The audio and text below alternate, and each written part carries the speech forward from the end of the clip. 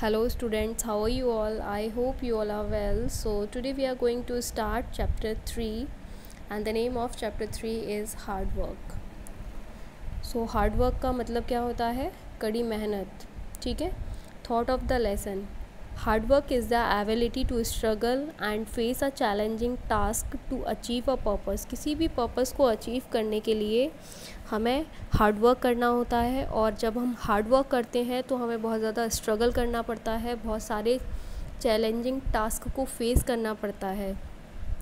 The rewards of hard work are that it builds character reward क्या होता है इसका? हार्ड वर्क करते हैं जब हम तो हमारे ये कैरेक्टर को बनाता है, teaches to endure the hardship. जितनी भी कठिनाइयाँ आती हैं, उनसे कैसे लड़ा जाए, ये सिखाता है। Give the ability to execute big goals बड़े बड़े गोल्स को कैसे हासिल किया जाए, एंड ऑलवेज ब्रिंग सक्सेस, और कैसे हमेशा सक्सेस पाएँ। Perseverance is continuing on the path towards the goal without giving up अपने लक्ष्य को पाने के लिए हमेशा डटे रहना चाहिए, पीछे नहीं हटना चाहिए गिव अप नहीं करना चाहिए हमें कभी भी। While hard work is putting in harder effects to achieve a goal तो कोई भी आपको अपने गोल से, अपने गोल को अचीव करने के लिए रोक नहीं सकता। ठीक है? जब आपने हार्ड बहुत ज़्यादा हार्डवर्क किया हो तो आपको कोई रोक नहीं पाएगा, ना story time Matt is a good character cricketer Matt जो है वो एक अच्छा क्रिकेटर है।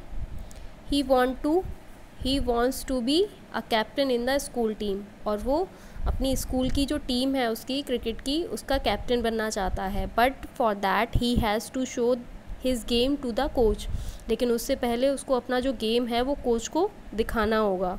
Matt is a little lazy लेकिन मैट जो है वो थोड़ा सा लेज़ी है and does not have faith in his capabilities और उसे अपनी जो खुद की कैपेबिलिटीज़ हैं, वो क्या क्या कर सकता है?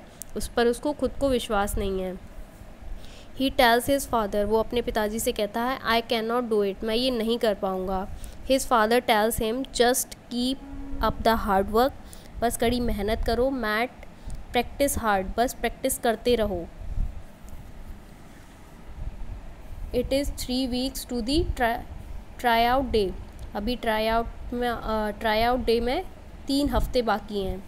The coach will choose the team on the try out day तुम्हारे जो कोच हैं, वो ट्राई आउट डे वाले दिन टीम सेलेक्ट करेंगे। Matt start to give up और तुमने अभी से स्टार्ट कर दिया गिव अप करना।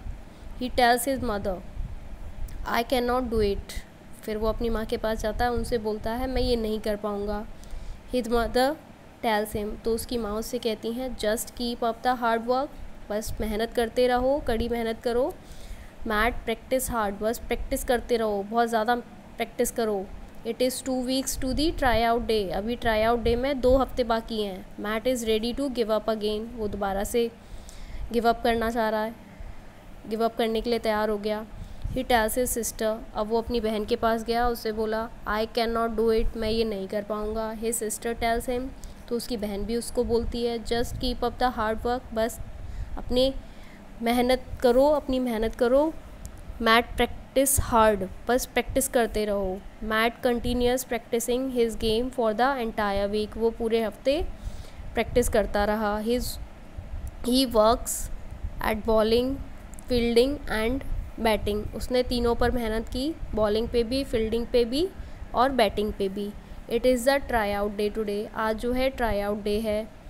At the at the field field में his father mother and sister have come to watch him वहाँ उसके पापा, मम्मी एंड उसकी जो बहन है, वो उसको देखने के लिए आए उसका मैच दे टेल मैट और वो टेल से बोले you will play like a super hero तुम्हें एक सुपर हीरो की तरह खेलना है.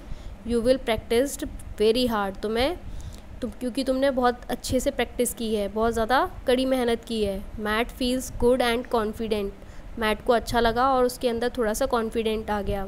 ही प्लेज हिज बेस्ट उसने अपना बहुत अच्छा खेला। His parents and sister cheer for him उसकी जो बहन है और उसके जो पेरेंट्स हैं, उन्होंने उसको चेयर अप किया। द कोच सेलेक्ट हिम उसके कोच ने उसको सेलेक्ट कर लिया as the captain of school team school team का कैप्टन उसको सेलेक्ट कर लिया। ही सेज और उन्होंने बोला Matt is the best all rounder for the team क्योंकि मैट जो है, वो बहुत अच्छा खिलाड़ी है और ऑलराउंडर है टीम का। उसको फील्डिंग भी आती है बैटिंग भी आती है बॉलिंग भी आती है। Matt says to his friends और उस मैट जो है, वो अपने दोस्तों से कहता है, फिर नाउ आई नो दैट अब मुझे पता चला हार्डवर्क ऑलवेज पेज जब हम कड़ी मेहनत करते हैं तो उसका फल हमें मिलता है। ठीक है? तो जब आप लोग भी कड़ी मेहनत करोगे तो आपको भी उसका फल ज़रूर मिलेगा। ठीक है? Stay safe stay home bye